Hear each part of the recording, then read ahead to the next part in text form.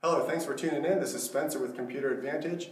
going to do another video on the Sonos controller app. We're working with version 5.4 just for reference sake. And I want to go over how to use and manage the Sonos queue. It can be a little bit daunting when you first start out, but once you understand it, you'll understand and it'll make sense and it'll be a great feature that you enjoy your Sonos system with. So let's go ahead and get started. Okay, so let's go ahead and open the Sonos controller app on our iPhone. And today we want to go over Sonos playlist, favorites, and the queue. So I'm going to go ahead and tap on the menu button, which we talked about in a previous video.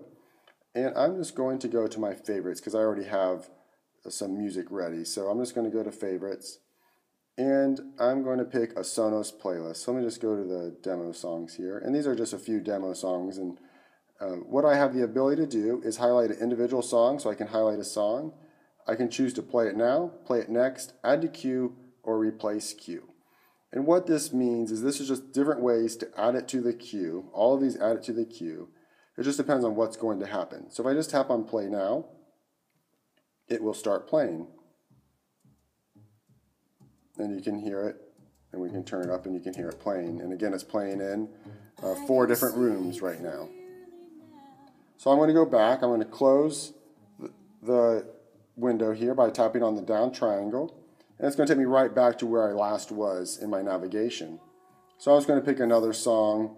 Um, and I'm going to hit play now. And when I hit play now, it interrupts whatever's currently playing and starts playing that song. So let's go back and what these other options are. If I pick another song and I hit play next, it doesn't in interrupt the current song playing. And so now what's going to happen is if I tap down at the bottom to see what's playing now, I can go to my queue icon, which is in the very bottom right hand corner. And if I tap on the queue icon, I can see all my music in the queue. And so there was already some music in here, but you can see, I can see clearly now, everyone plays the fool and the Faces of the Heart. And you can see right here with the equalizer bouncing that everyone plays the fool is what is currently playing. And then next is going to play Faces of the Heart. So by using the option play next, it did not interrupt what was currently playing in my room. So if I am entertaining or just want to have music flow continuously without interruption, I can just hit play next or add to queue. So let's go back and explore those other options. So I'm going to click on the X, tap on the X to get rid of that. I'm going to tap on the triangle. And now let's just pick another song. And now I'm going to say play next again. And you can see it added to the queue. If I tap on here, what we'll see is that a Love Supreme is now going to play next before Faces of the Heart because I said play next. So let's see how that is different than our other options. So if I pick almost like the blues, and I say add to queue, and go down here, go back to my queue in the bottom corner, you can see that it just added it at the very bottom of the queue. So play next, plays it next, add to queue, puts at the bottom of the queue. Whether you have 10 songs or 100 songs, it'll put at the very bottom of the queue.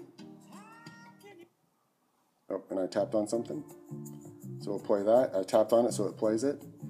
The next option is if I just pick another song and I hit replace queue, we will get a warning message on here. Are you sure you want to replace the queue? And let's just go ahead and sure where we're sure we want to do that.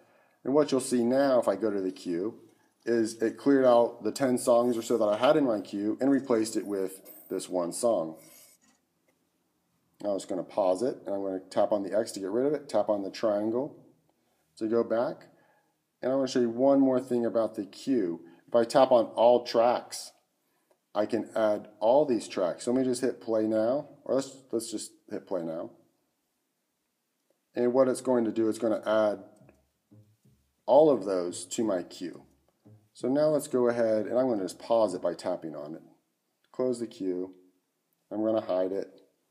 And I'm going to go back and I'm going to do a search. So maybe I want to um, do a search and we're going to do um, a search and we're going to make a playlist as we're making our queue. So what I'm going to do is do a search for um, some different songs and I'm just going to look for some some of your favorite tunes. So let's type in Justin Bieber here. So I'm going to type in Justin Bieber, and we're going to see that I have Justin Bieber in my music library, which is on a NAS drive on my network. I have some Justin Bieber on the phone, and then I have Justin Bieber and Beats and Deezer, and then I have Pandora stations.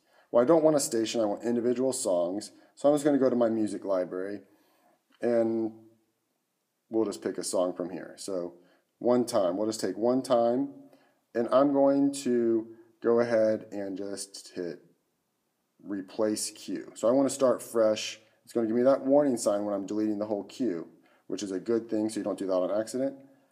And so it's going to replace the queue and start playing. I'm going to go ahead and pause it and just show you again that what that queue looks like.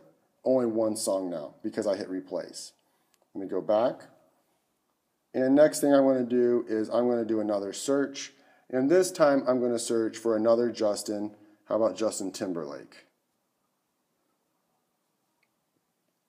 And now I can see I don't have any Justin Timberlake on my phone or my um, library, but I can pull them up from different music services. So I'm going to go ahead and pull up Justin Timberlake. We'll just do beats for now. And let's just say, what song do we want? Let's just go to popular tracks. All right, so now we can see the popular tracks. And so we can just pick something for this example. It doesn't really matter. So I'm just going to put pick a song. And I'm going to hit add to queue. So what that does, if I go back to the queue one more time, you can see that it's playing second in my queue. So let's get back. And now I'm going to do another search. I'm going to clear out Justin Timberlake, and I'm going to do another search. I'm going to do Kelly Clarkson. So Kelly Clarkson shows up. I'm going to go down, and this time instead of going to Beats, I'm going to go ahead and go to Deezer, which is a high resolution music service uh, that gives you much better sound quality than uh, services like Beats, Spotify, um, things like that. It's about five times the qual- resolution, which translates to better quality. So we can just go to top tracks, and you know we'll just pick "Since You've Been Gone." That's you know a popular song, or at least it used to be. And I'm going to hit Add to Queue. And so now I have a queue, so you can see how you can build your queue. I could also go, and maybe we'll just do one more thing, and I'm just going to say.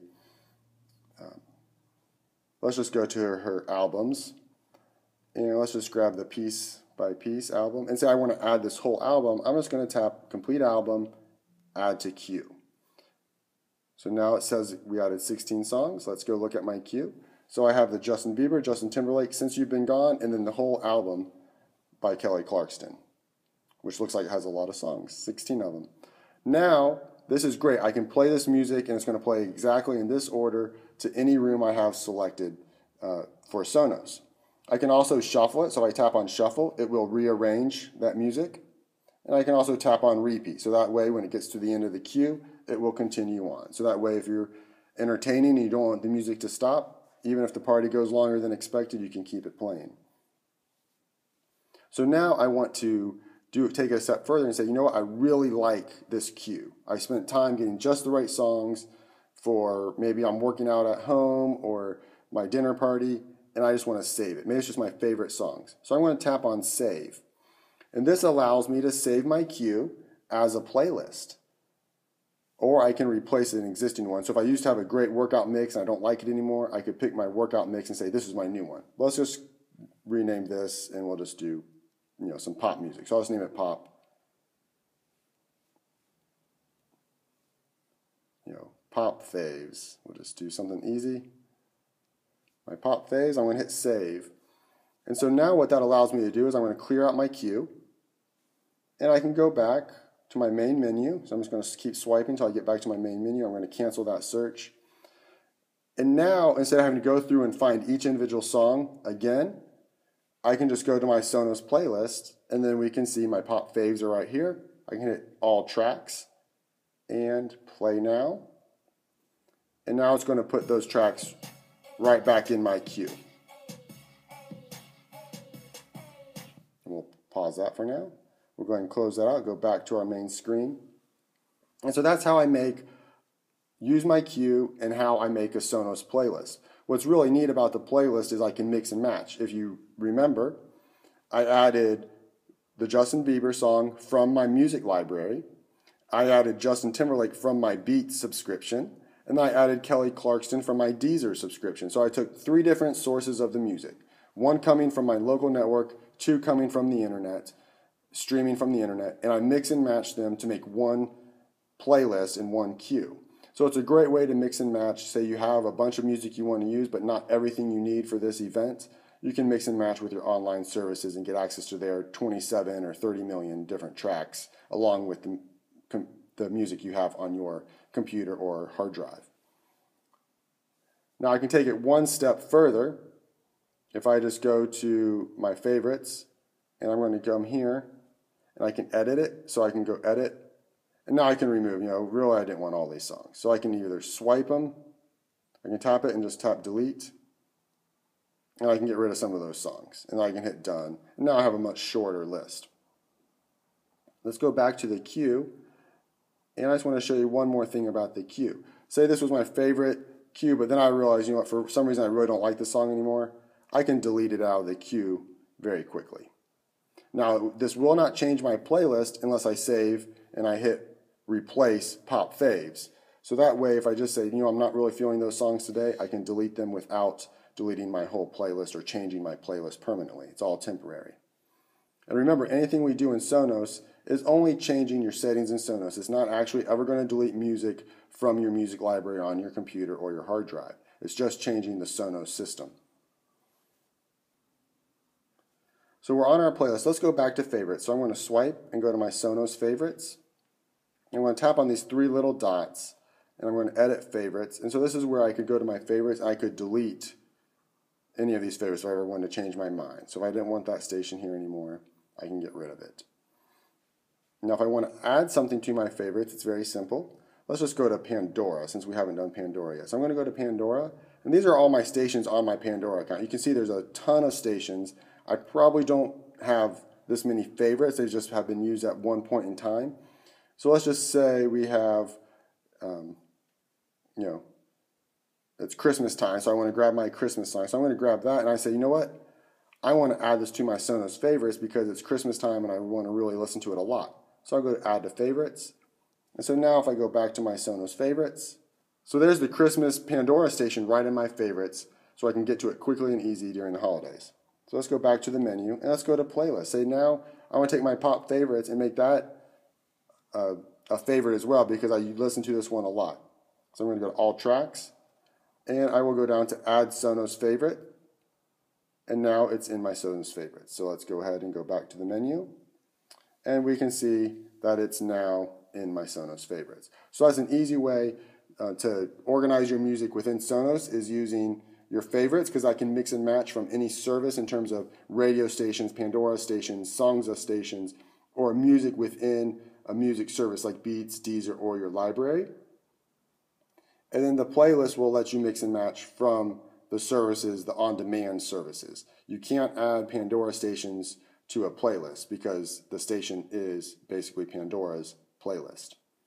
So that's how you can add music to your queue, how you can delete music from your queue, how you can create favorites and playlists within the Sonos app on your iPhone or on your iPad.